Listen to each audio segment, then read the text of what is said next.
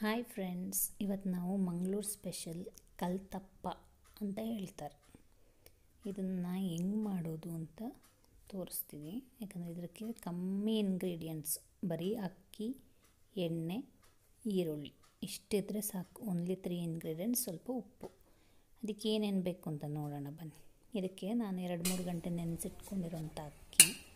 ಅದಕ್ಕೊಂಚೂರು ನಿಮ್ಮ ಮನೇಲಿರೋಂಥ ಅನ್ನ ಹಾಕ್ಕೊಂಡು ಸಾಫ್ಟಾಗಿ ಗ್ರೈಂಡ್ ಮಾಡ್ಕೊಳ್ಬೇಕು ನೋಡಿ, ಈ ಥರ ಇರಬೇಕು. ಕನ್ಸಿಸ್ಟೆನ್ಸಿ ದೋಸೆ ಅಷ್ಟಿದ್ರೂ ಸಾಕು. ಅದಕ್ಕೆ ಈರುಳ್ಳಿ ಕಟ್ ಮಾಡ್ಕೊಳ್ಳೋಣ ಸ್ವಲ್ಪ. ಮಾಡೋದನ್ನೇ ಅಂತ ತೋರಿಸ್ಕೊಂಡು ಈಗ ಬಾಣಲೆಗೆ ನಾವು ಕೊಬ್ಬರಿ ಎಣ್ಣೆ ಇಟ್ಕೊಂಡಿದ್ದೀವಿ. ಎಣ್ಣೆನಾದರೂ ಯೂಸ್ ಮಾಡ್ಬೋದು. ಕೊಬ್ಬರಿ ಎಣ್ಣೆ ತುಂಬ ಟೇಸ್ಟ್ ಕೊಡುತ್ತೆ. ಇದಕ್ಕೆ ನಾವೇನು ಮಾಡ್ತೀವಿ? ಸಣ್ಣ ಕಟ್ ಮಾಡ್ಕೊಂಡಿರೋಂಥ ಈರುಳ್ಳಿನ ಹಾಕ್ಕೋಬೇಕು. ಎಣ್ಣೆ ಬಿಸಿ ಹಾಕ್ತಾ ಇದ್ದಂಗೆ ಹಾಕ್ಕೊಂಡು ಸ್ವಲ್ಪ ಬ್ರೌನ್ ಆಗೋರು ಮಾಡ್ತೀವಿ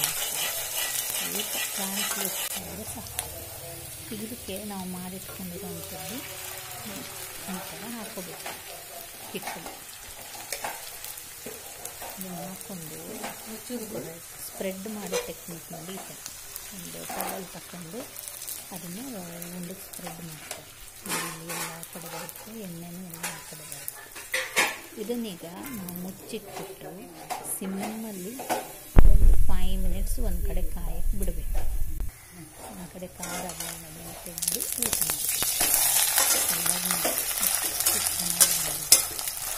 ಟೇಸ್ಟ್ ಅಷ್ಟೇ ಚೆನ್ನಾಗಿದೆ. ಇದಕ್ಕೆ ನೀವು ಚಟ್ನಿನಾದ್ರೂ ಹಾಕ್ಬೋದು, ಇಲ್ಲ ಸಾರು ಏನಾದರೂ ಮಾಡಿದ್ರೆ ಅದಷ್ಟೇ. ಒಂದು ಕಲರ್ ನೋಡಿ. ಈರುಳ್ಳಿ ಈಗ ಎರಡು ಕಡೆ ಕಾದಿದೆ ಅದನ್ನು ತೆಗಿಯೋಣ.